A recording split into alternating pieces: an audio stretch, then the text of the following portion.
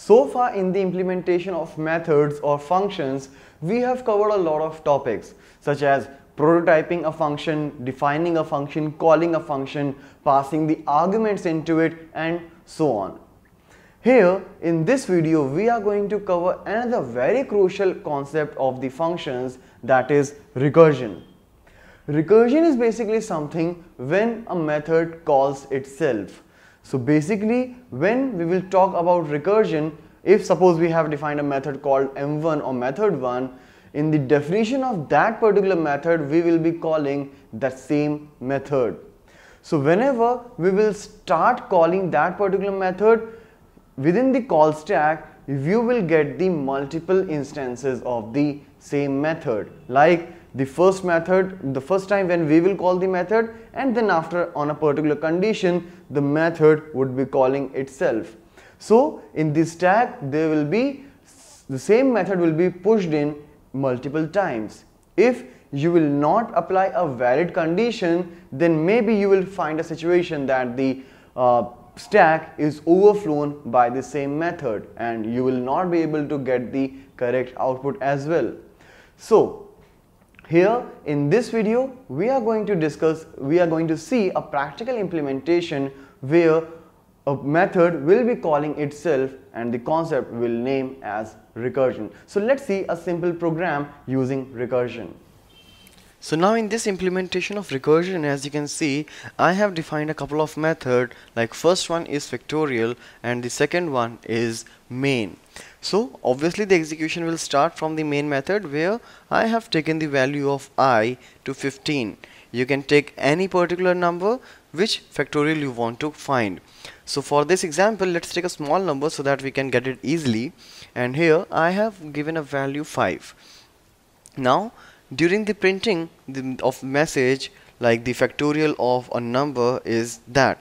So in this particular message what I'm doing is I'll print the value of i that is 5 and then the factorial of 5 that is 120 so if I'll execute let's see whether the output is correct or not.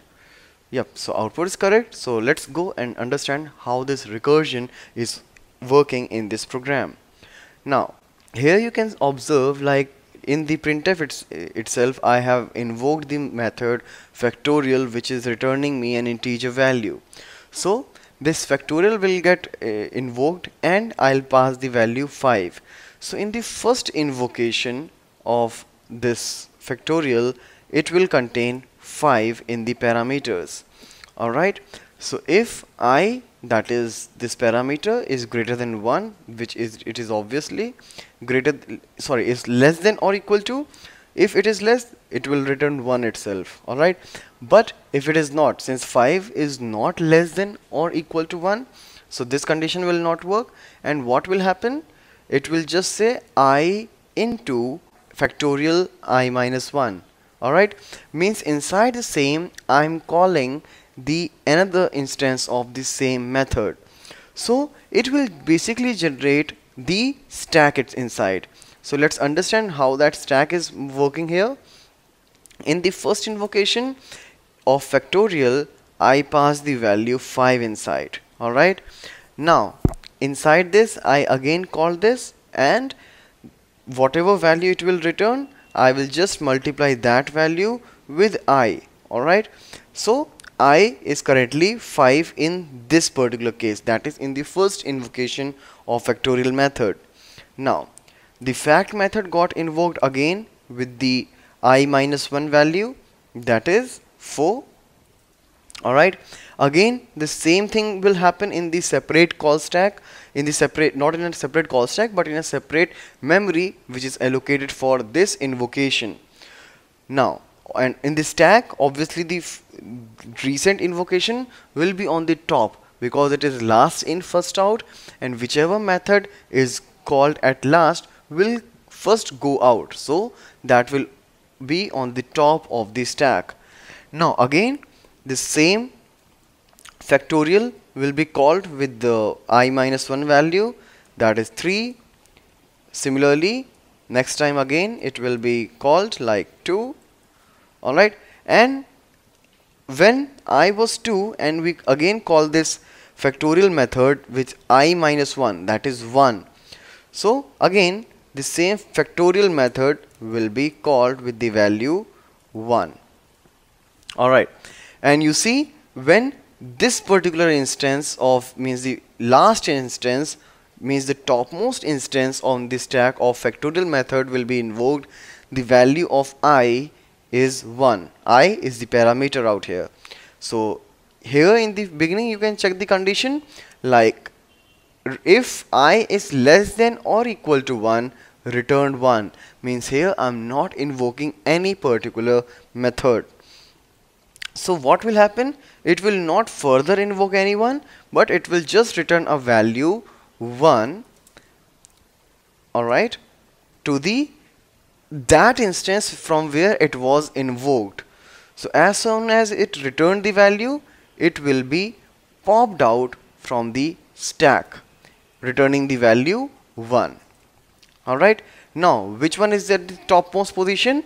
This factorial 2 alright so again this one was in action and it was actually got executed till this particular point because at this particular point we invoked the another instance of factorial. When it will return from this to this method the execution will begin from this line itself. So what it will do? For this particular instance the value of i is 2 and this factorial return the value 1 so it will just return 2 into 1 and will get popped out because after that there is nothing mentioned. So it will popped out and the last value which is being returned is 2 similarly after that factorial 3 means this particular called instance is in the memory. Now again we invoked the method in this particular line. That means till this particular point the execution was done. So it will resume from this particular location itself. So what it will do? Factorial i minus 1 for this particular instance for factorial 3 is 2 and for this particular instance only the value of i is 3 so it will do one thing. It will just do 2 into 3 alright and which will give you 6 so similarly then this 6 will get multiplied to 4 which will give you 24 and then this 24 will get multiplied to uh, 5 which will give it 120 so this is how when I will execute this particular program I will get the factorial. And accordingly if it is a bigger number you will get the output as per that alright? So this is how you can use the factorials anywhere when you want to break the overall solutions into smaller ones with the same kind of implementation